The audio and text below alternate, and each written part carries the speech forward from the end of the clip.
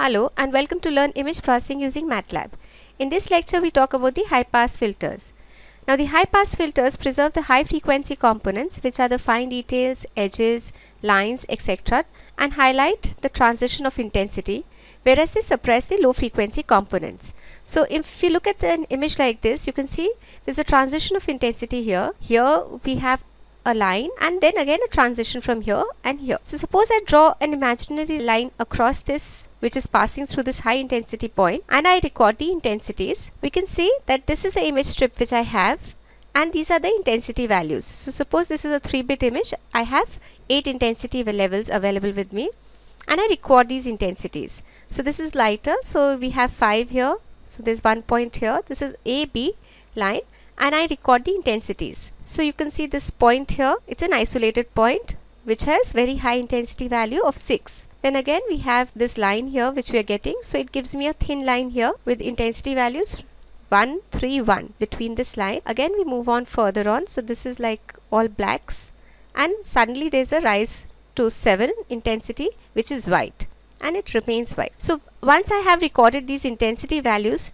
now we will see how we calculate the first derivative. So the first derivative is basically a partial derivative with respect to x. So we have a simple formula to find the partial derivative fx plus 1 minus fx. So if I implement this on this diagram, so you can see these are the intensity values. So these are the intensity values which I have recorded. Now you can see for this particular point fx plus 1 minus fx. So this is 0.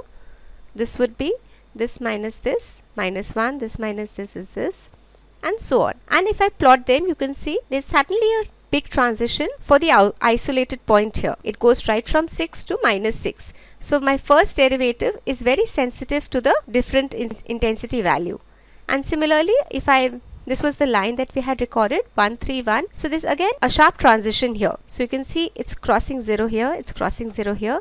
And then again there's a huge transition as soon as we move from 0 to 7. So my first derivative, so from this we can easily say that my first derivative is sensitive to change in intensity values. To implement this, we can just simply take a kernel like this. So gx would be this kernel, gy would be this kernel and I can then take the magnitude of the difference and find out the magnitude of the vector that we are getting out of filter. Similarly, we have a Sobel operator. So these operators are first order derivatives. So generally in the first order derivatives, what we do is we find out the gx which is the difference to, uh, in the x direction and we find out gy which is the difference in the y direction. So we find out both the derivatives and add them together to find out the final result.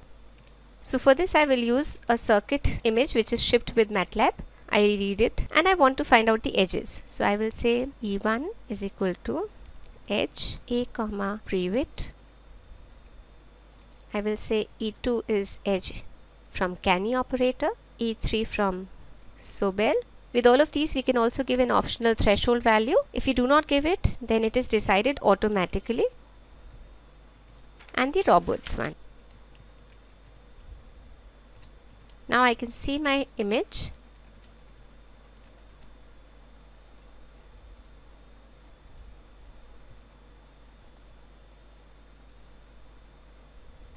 So I subplot all of these in the figure. So you can easily see that this is what I'm getting from the Prewitt. This is from Canny, this is from Sobel and this is from Roberts. So this is how we can uh, find out the edges using the first order derivatives. If I want to implement the Prewitt without the inbuilt function, then we knew that these were my kernels. So I will implement the Prewitt using these kernels.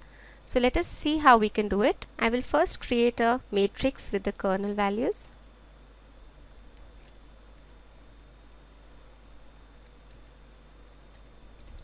I will first read the IC. IC is IM read. Now I apply the kernel to this particular image. I can see the intermediate values of the figures. Like before we will divide it by 255 to convert it into a unsigned integer.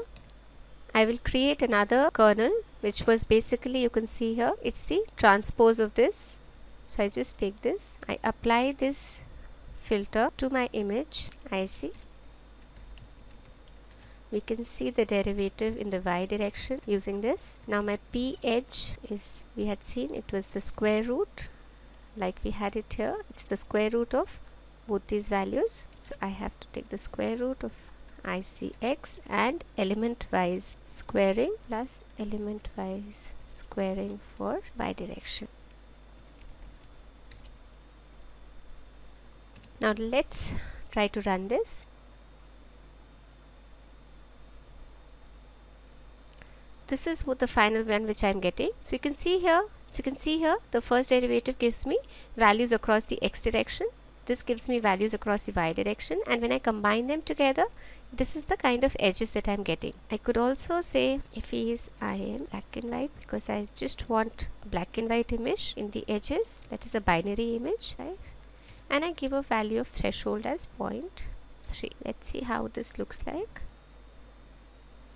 so this is very similar to what I get here so using the same concept you can apply the Canny, Sobel and Roberts masks too and see for yourself. So this brings us to the end of this lecture. I will see you in the next one. Thank you.